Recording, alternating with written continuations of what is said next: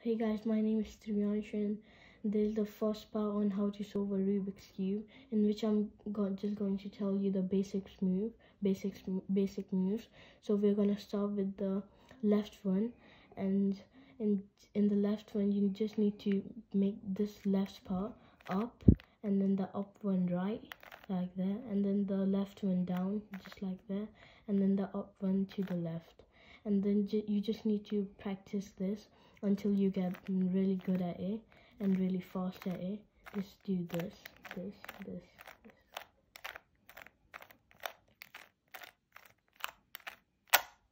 Now you need to, now i'm going to tell you the right hand move which is just the opposite of the left one. The right one up and then the up one left the right one down and the up one to the right and then just do it until you get really really really really good at it.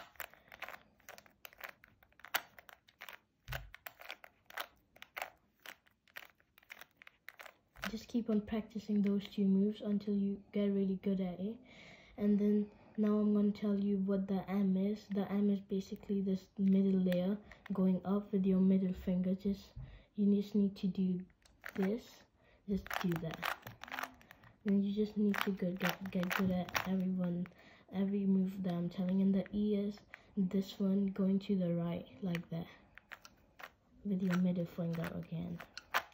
And then this is it for the first part. And then the next video i'm going to tell you how to actually solve it. So until then goodbye